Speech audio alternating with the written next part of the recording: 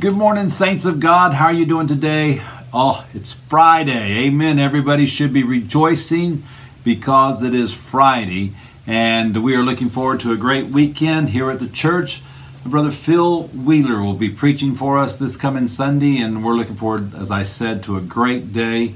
And we were going to have a soul winning clinic on Saturday, but because of COVID, some things have changed, and we're not going to be able to have that soul winning clinic tomorrow. But on Sunday, we're going to have a great day in the house of God. You will thoroughly enjoy Brother Phil, a man of great compassion, a soul winning heart, and a man with a lot of interesting stories for us all the time. So I know it will be a blessing for you. And so uh, make sure you're faithful to the house of God. Be there and let's have a great day in God's house this coming Sunday. This morning, I'd like for you to look at this one verse, Matthew chapter number 13 and verse 44. I'm sure Heather will put it here on the screens in just a second and we'll see it.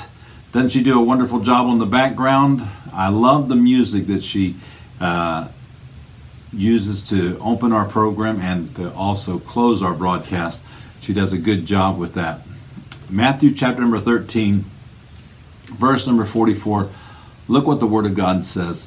Again, the kingdom of heaven is likened to a treasure hid in a field, the which when a man hath found it, he hideth, and for joy therefore thereof goeth and selleth all that he hath and buyeth the field.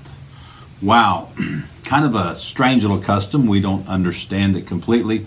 But let me tell you so that you can kind of get an idea of what happened. Today, if you have some money, you put it into a money market or you put it into the bank, you put it someplace where it's safe keeping. Well, back during the times of the Lord Jesus Christ, there were no banks around and people didn't put money in the banks. Instead, what they would do is they would find a hiding place for it and they would bury it and uh, and there they would uh, leave the treasure there and hopefully it'd be safe because if somebody came into your home uh, they might destroy your home and look for it and stuff like that and so instead of keeping money in their homes per se they would keep their treasures hidden off in different places and um, here in this story that jesus is telling us he's telling us that the kingdom of heaven is like a treasure hid in the field. There the treasure is hid in the field, and we find out somebody's been searching for it. Somebody's been heard a long time ago about a treasure that was buried in a field, and immediately when they get old enough, they're out looking for it. Maybe their mama told them the story when they were a young boy, and all through their life, they kind of dreamed about it, and now the opportunity comes. They can old enough, they're going to go look for the treasure. Well, sure enough, after hearing it, they have found the treasure. And, and uh, it's buried there. And uh, what they want to do is they want to go and they want to purchase that field. So that field would become theirs, and the law, anything on that, that field would become part of their, their, their keeping. And so uh, they go and they sell all that they have, the Bible says, and buy the field. Kind of an old custom, something that they used to do. And uh, when he finds it, you can imagine how people made fun of him. Oh, he just wants that old field. He don't know what he's going to do, and he sells everything he has. People thinking and made fun of him probably. But one day when he buys the field and he goes and he has his treasure, builds him a mansion and has a, you know, the nice clothes after selling all of his clothes and stuff. He he now has a a nice place, and so and that's how the parable ends. But we ask ourselves, what does this parable really mean? What are the what are, what are the situations here in the parable of the hidden treasure? Well, I believe, now this is what I believe. I believe that the Lord Jesus Christ is the man and the treasure is the field that represents the potential of believers who are on the world. In other words, Jesus Christ is the man who's on the look. And you and I are like a peculiar treasure to him when he finds people who have real genuine faith and belief in who he is and what he's done. And, he looks at us and he views us as treasures. Whereas maybe other people in the world would not view us as a treasure, he saw us as a treasure to himself. And you know what, folks, really, in and of ourselves, there's nothing good. What's good is what the Lord has put there, but his love for us makes us good. And so Jesus sees the treasure of men in the world and seeing them, he does four amazing things here. First of all, he hides the treasure. He hides the treasure. He doesn't want nobody else to get it. Well, you say, well, where did Jesus hide us? He hid us. He hid us in his heart. Okay, uh, he takes what the Father has given him and he tucks it away in his heart, choosing and protecting them until he can complete the full work of salvation. So, so there we were in the heart of Christ. Those of us who are believers, those of us who realize that Jesus Christ died for us and we put our faith and our trust in him. And so the first thing he does is he hides us, hides us in his heart. And then he goes. The Bible says that uh, that he goes, he I believe with all my heart Jesus came into the world. He came into the world. The Bible says, "For the Son of Man has come to seek and to save that which is lost." In, in Luke chapter number 19. And then also, the Bible tells us, For God so loved the world that he gave his only begotten Son, that whosoever believeth in him should not perish, but have everlasting life. For God sent not his Son into the world to condemn the world, but that the world through him might be saved. John chapter 3. God sent his Son. God has been on the lookout for us, and God has come to this world. He has come, and thank God he did. But I want you to see this next point. He sells all. Wow, he sells all. You say, Preacher, now what does that mean for Jesus Christ to have sold all? I believe, here's what he's telling us. He gave up heaven and all of its glory and splendor. Why, when we go into the book of Philippians and we begin to read, the Bible says, but made himself of no reputation and took upon him the form of a servant and was made in fashion as a man. I'm sorry, and was made in the likeness of man, and being found in fashion as a man, he humbled himself and became obedient unto death, even the death of the cross. Well, we find out here that Jesus gave up his splendor, gave up his his uh, appreciation, love of heaven, and uh, came to this earth and he put on the robes of human flesh. He was found in the likeness of men.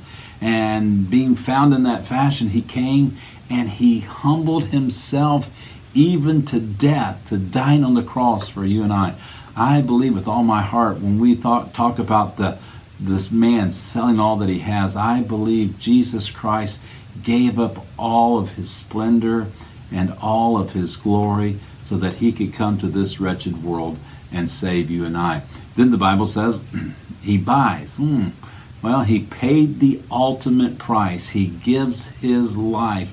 Listen, here we know the love of God, boys and girls, mom and dad. Listen, we know the ultimate price that Christ paid. He paid with his life. The Bible tells us, but God commendeth his love toward us in that while we were yet sinners, Christ died for us. He demonstrated, he proved, he showed, hey, he, go, he goes and gives the ultimate price so that he can redeem you and I from this place and from our penalty of our sins. And thank the Lord for it. You know, then I do believe this. As we go back and we look at this parable, we see the truth about this man. Not only did he do those things, but we find out that also this man, in the latter part of the verse, it says, And for joy thereof goeth and selleth all that he hath for the joy. You know, I believe with all my heart. We look what Jesus did. He he came. He he gave his life. He gave his all. He died on the cross for us. I I believe that with all my heart, but we ask why. I believe this. There was a joy that was set before him. He had a joy in him. He envisioned the day when all of us would be with him in heaven that's what Jesus Christ is looking forward to. Folks, that ought to be the dream and the thrill of our soul to know one day we're going to be in heaven and there's going to be no more sin and sorrow. There's going to be no more pain and no more no more death and dying and separating. One day we are going to be in heaven. And I believe that the Bible's talking about here the joy that was set before this guy looking for the treasure, what made the joy so much for him was that he real, realized one day owning all of that. I'm going to tell you something. I believe the joy for the Lord Jesus Christ was having us all there with him in heaven.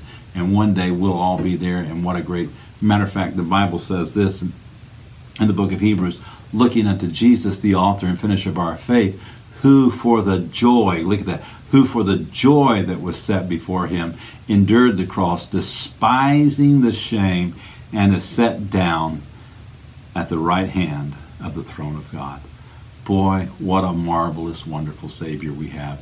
Jesus Christ our Lord. Let's pray. Heavenly Father, thank you for this tremendously wonderful, favorite passage for Father for us to look into.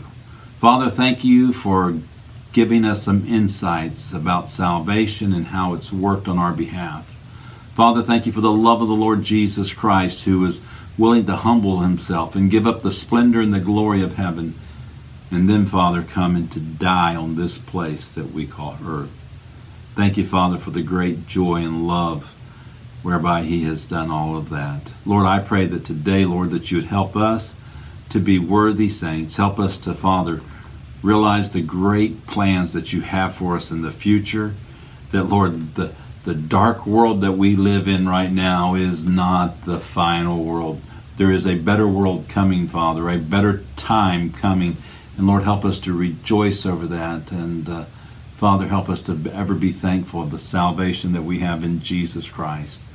And Lord, thank you that it's in Him and not in of ourselves. Because, Father, if it was in of ourselves any way possible, we would lose it surely, Father. And Father, thank you for Jesus Christ. Thank you for all you're doing. And Father, we pray you bless this day now in Jesus' name. Amen. There you go. Go serve your King, and remember, He loves you. Bye bye.